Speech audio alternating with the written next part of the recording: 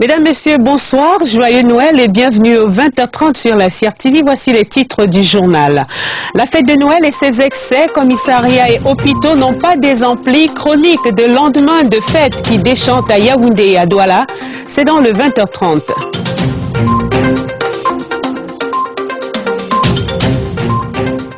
Yafé et ses déboires, la foire urbaine de Yaoundé n'attire plus autant. La délocalisation du site a freiné l'ardeur des visiteurs. Constat de reporter dans le journal. La sous-région Afrique centrale et sa crise, l'économie va mal. S'adapter à l'austérité en diversifiant ses sources de revenus. Nous irons voir les recettes déployées au Congo et en Guinée équatoriale avec nos envoyés spéciaux. Voilà pour les titres. Mesdames, Messieurs, une fois encore, euh, bonsoir et joyeux Noël. Les Camerounais ont un peu la gueule de bois au lendemain de la fête de Noël. La journée fériée chômée de ce 26 décembre a permis de se remettre un peu des émotions et des abus d'hier, car il y a eu quelques dégâts dans l'euphorie de la nativité. Dans la seule ville de Yaoundé, 30 accidents enregistrés, dont un mortel, et puis des cas de bagarre et de coma éthylique ont conduit quelques fêtards aux urgences. Notre reporter a fait le tour de quelques hôpitaux et commissariats de la capitale. Michel Renaud-Wandia, reportage. Pour ce lendemain de fête de Noël, les hôpitaux et autres postes de police n'ont pas connu de répit ce lundi déclaré férié. C'est le cas du centre des urgences de Yaoundé où le personnel médical est resté au chevet des patients. Selon les médecins de garde, près de 60 cas ont été enregistrés les 24 et 25 décembre. Les cas les plus récurrents sont ceux des victimes des accidents de la voie publique et autres agressions. Au centre médical de Mvogada, deux cas légers d'intoxication alimentaire ont été enregistrés. Pour ce qui est de la sécurité routière, le groupement régional de la voie publique et de la circulation du centre est resté en éveil. Nous avons eu à couvrir beaucoup d'événements, à savoir la nuit de la nativité. Durant cette nuit, nous avons eu à enregistrer beaucoup de cas d'accidents de circulation qui sont même fatals. Un cas d'accident mortel et 31 cas d'accident matériel. Beaucoup d'accidents sont dus à plusieurs facteurs. L'excès de vitesse, la consommation d'alcool, le téléphone au volant, le non-respect du code de la route. Quant aux familles, la vigilance doit être de mise car la vie humaine n'a pas de prix. Dans la nuit du 24 au 25, un homme a perdu la vie à Douala dans des circonstances encore non élucidées. La fête de Noël a été entachée également là-bas d'une trentaine d'accidents et de bagarres. Les hôpitaux ont également enregistré quelques cas d'indigestion. Ce n'était pas un Noël tranquille à Douala, nous dit notre reporter Marcel Ekassibilé qui fait les comptes depuis CRTV Littoral. À l'hôpital de district de Dedo, tout comme dans plusieurs autres hôpitaux, de nombreux blessés des suites d'accidents de la circulation, bagarres conjugales, agressions physiques et autres cas d'intoxication alimentaire ont été enregistrés. Nous avons recensé en moyenne une trentaine de cas. Il y a une victime d'accident de la voie publique qui est venue avec une large plaie du scalp. C'était une grosse entaille là, avec exposition de l'os occipital. Un jeune homme de 25 ans, je crois, qui a reçu un tesson de bouteille, si vous voulez, dans le dos. À côté des vols et des viols perpétrés dans la cité économique, le commissariat central numéro 1 enregistre un cas d'homicide. Un chauffeur de camion porté disparu dans la nuit du 24 décembre est retrouvé sans vie ce 26 décembre à l'entrée de Youpoué. Et dans les rues, plusieurs débits de boissons ne se sont pas encore complètement vidés. Les disciples de Bacchus y séjournent encore. D'autres, par contre, se sont laissés guider par la boussole de la modération. Les fêtes se sont passées normalement. Pas trop d'exagération, puisque généralement le mois de janvier dépend de comment on a managé le mois de décembre. Je fais moyennement de dépenses parce que je sais que le mois de janvier est souvent dur et long et difficile. Il n'y a pas. Donc, et, et, le temps aussi qui est dur. C'est pour ça que je fais moyennement mes dépenses. Je fais, j'ai bien fêté. Noël est certes passé, mais pour beaucoup, les séquelles sont restées. Pour la Saint-Sylvestre qui se profile à l'horizon, Prudence et vigilance devront être les maîtres mots. On fera le bilan le 2 janvier. Les envies d'évasion par ces temps de fête, la foire urbaine Yafé vous accueille sur son nouveau site de Tinga Yaoundé. Yafé est un rendez-vous festif déjà inscrit dans l'agenda des Yaoundéens depuis ces dernières années, mais la délocalisation du site du boulevard du 20 mai pour le parc des expositions de Tinga a quelque peu bridé l'enthousiasme des visiteurs. Constat de notre reporter aujourd'hui, Steve Tiega et Kembenge. La onzième édition de la foire urbaine Yaoundé en fête, comme la dixième, a dressé ses stands sur les flancs du mont Kolnyada, à Tinga, au pied du palais des congrès de Yaoundé. Conséquence visible à l'écran du GPS, de l'ancien site au nouveau site, 10 km à parcourir en 24 minutes, à la vitesse minimale du trafic urbain. Réaction des usagers. Quand c'était au milieu de, de la ville, c'était moins coûteux pour nous. Mais se déplacer jusqu'au palais des congrès, c'est tellement euh, un peu difficile. Le site a plus d'espace, mais un relief en pente, comme l'ont relevé quelques voix. Par ailleurs, les vendeurs et exposants sont presque tous unanimes. Ils soupçonnent une baisse du chiffre d'affaires corrélée à la fréquence des visites. Ce qui n'est pas bon, c'est qu'il y a des gens qui ne sont un peu au courant qu'il y a fait CDA par ici. Bon, d'autres gens trouvent ça très loin pour aller, pour venir avec les enfants et tout et tout. Non, on va moins. Parce que sinon, j'ai fait Yafé de la poste et j'ai fait Yafé d'ici. Il y a une grande différence. Ah, la comparaison, le constat est tout simplement amer. De, de l'autre côté, c'est-à-dire au boulevard du 20 mai, l'affluence était dès les premiers jours. L'affluence que vous voyez actuellement, c'est depuis le 25, c'est-à-dire hier. De, en une semaine, vous êtes incapable de vendre même 100 000 francs. Or, de l'autre côté, en une semaine, vous pouvez atteindre le million. Un remue-ménage pour eux. En attendant que l'affluence se densifie à la mesure qu'ils souhaitent, le manège des loisirs se poursuit jusqu'au 2 janvier. On a le temps de se rattraper. Noël tout en louange et adoration. Les amoureux du chant gospel ont savouré à Yaoundé un concert donné par Ron Kennedy. Le célèbre chanteur américain s'est produit pour la première fois hier au Cameroun au Palais des Sports de Yaoundé pour l'acclamer. Il y avait un public tout acquis. Un jour de Noël avec Ron Kennedy, c'est avec notre reporter Steve Tiega et Kembenge une fois encore. La ferveur des poèmes d'adoration et de louange épouse le verbe de l'expérience. Par ses chants, Dr. Ron Kennedy dépose quelques mots d'amour dans les cœurs de ses fans.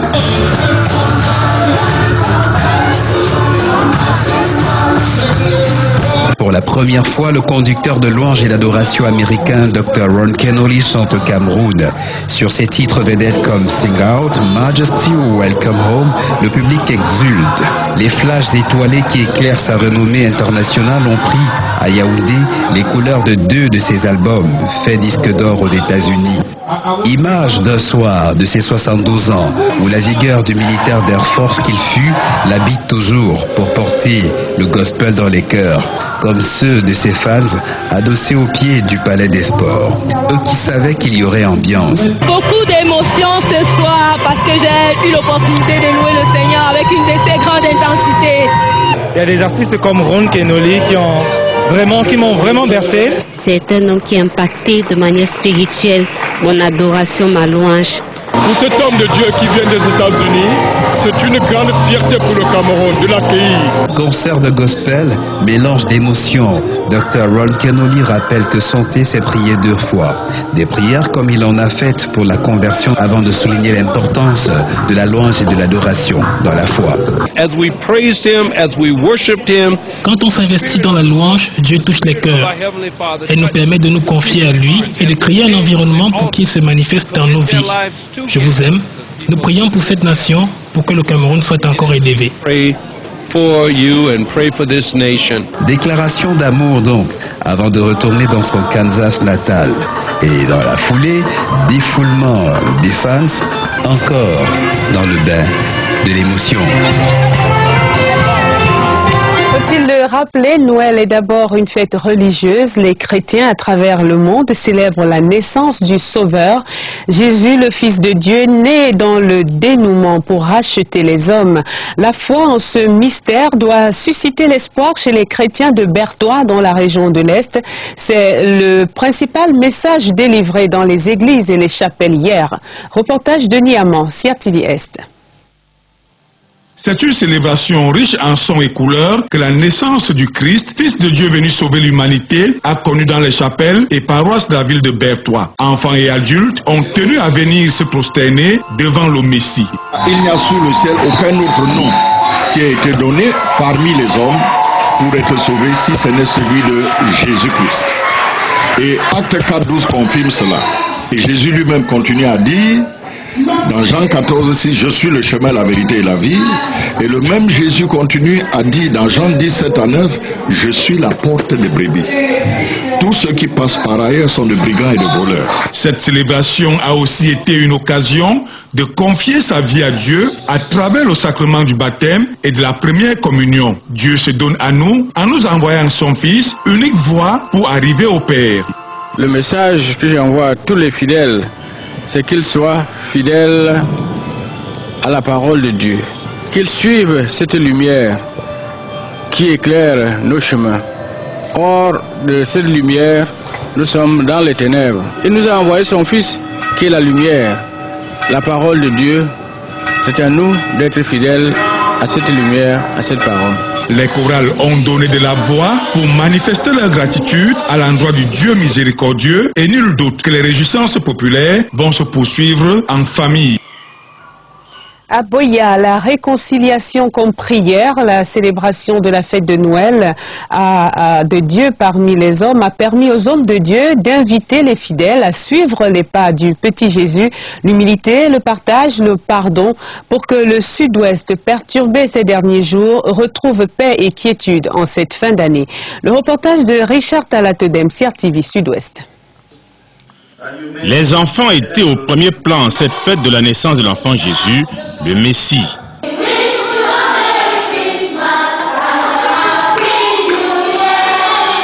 À la PCC Synod Office à Boya, le culte célébré en présence du modérateur de l'église a connu la participation de nombreux parents. Certains en ont profité pour présenter leur enfant au Seigneur et le message du jour, l'amour. Le message de tous les chrétiens, toutes les Camerounais, c'est que on soit dans cet amour comme un peuple.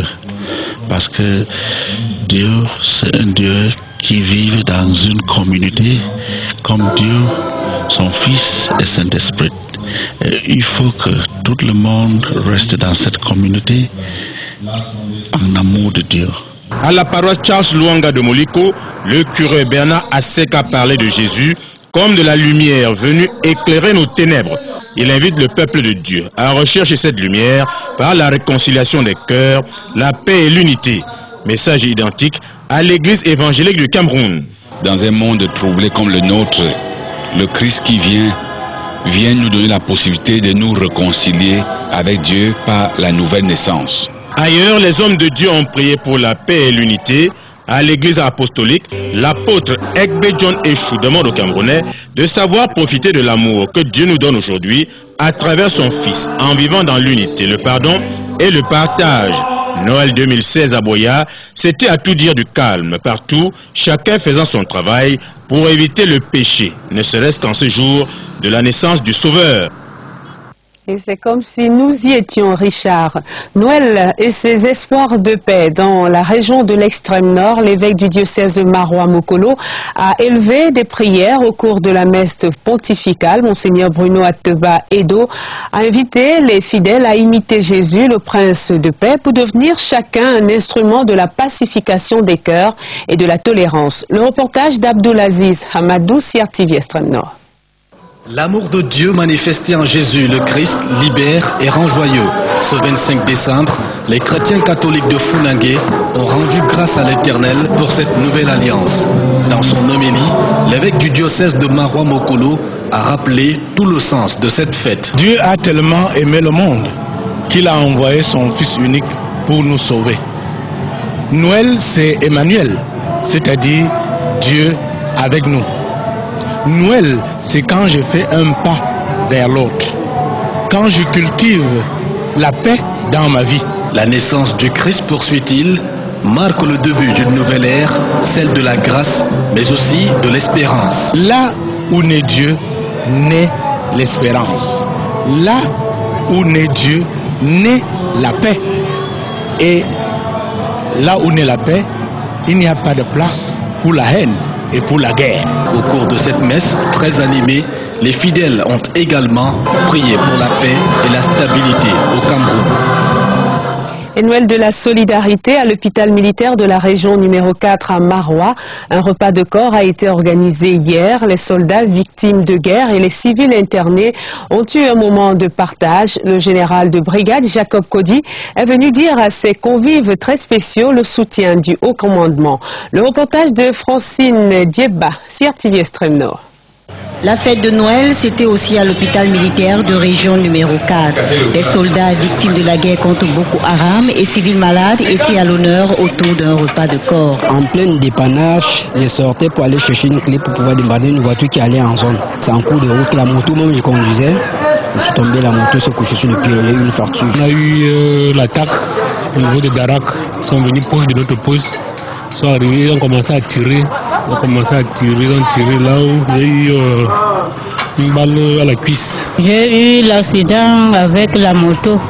On m'a amené ici à, à Marois directement le même jour. Ce moment de partage entre militaires et civils vient effacer un tant soit peu les souffrances morales et physiques des malades qui sont aux petits soins à l'hôpital. Nous sommes tellement fiers. Pourquoi? Parce que l'armée a tellement organisé de sorte où, que ce soit en zone, que ce soit un militaire qui est détaché ici pour la guerre, qu'il est victime, il est pris en charge ici à l'hôpital sans toutefois dépenser un 5 francs de ses poches. Je suis bien quand même. On essaye de mettre les perfusions. Ça marche, je ne marchais même pas. Donc maintenant, je me tiens déjà debout, ça va déjà un peu. Le général de brigade Jacob Kodji, commandant la 4e région militaire interarmée, qui présidait l'événement, n'a pas manqué de témoigner sa gratitude à la hiérarchie qui a bien voulu manifester sa sensibilité à l'endroit des personnes souffrantes. Nous témoignons également notre satisfaction, notre reconnaissance pour ce, ce signe, ce, geste qui va droit au cœur aux familles, aux blessés et nous avec. Par ce geste, le ministre délégué à la présidence chargé de la défense apporte reconfort et espoir aux soldats qui affirment se battre toujours pour l'intégrité de notre territoire national. Ils n'oublieront pas ce Noël 2016, les petits écoliers de Memiam dans le Nyon-Esso. Ils, ils sont 248 à avoir reçu des cadeaux de leur marraine, la First Lady Chantal Bia. Les présents ont été distribués à l'école des champions FCB de Memiam par Madame Habi Soubidou, la représentante de l'épouse du chef de l'État. Notre reporter nous fait revivre cette cérémonie. Claristan.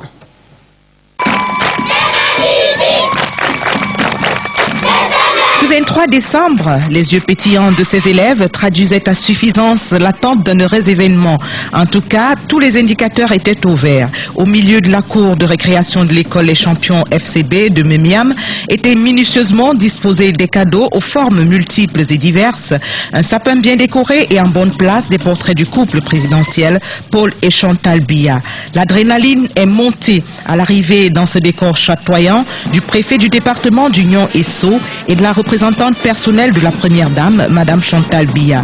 Abissou Bidoung, qui conduisait ici une forte délégation de personnalités venues de Yaoundé et qui se sont jointes à celles administratives, traditionnelles et religieuses locales, ainsi qu'aux parents pour rehausser l'éclat de cette fête de la nativité dédiée à ces 248 élèves. Le ton de la fête pouvait alors être donné d'abord par une prière du curé, soutenue par des chants de louanges et d'adoration exécutés par quelques élèves.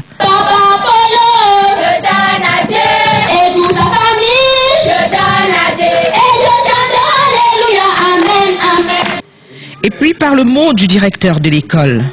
Loin de penser à une large action notre généreuse Emmanuel Mère, il est juste question de magnifier une fois de plus du haut de cette tribune sa fidélité dans ses entreprises et engagement, son sens élevé d'affection maternelle, son amour sincère pour la jeunesse de cette localité. Le reste de la cérémonie sera meublé par un gala culturel qui a mis en scène les élèves à travers des sketchs, scénettes, ballets, playback, des mouvements d'ensemble et autres danses traditionnelles pour magnifier la sollicitude de la First Lady. Les personnalités présentes n'ont d'ailleurs pas boudé leur plaisir et ont communié avec ses enfants en ce jour radieux.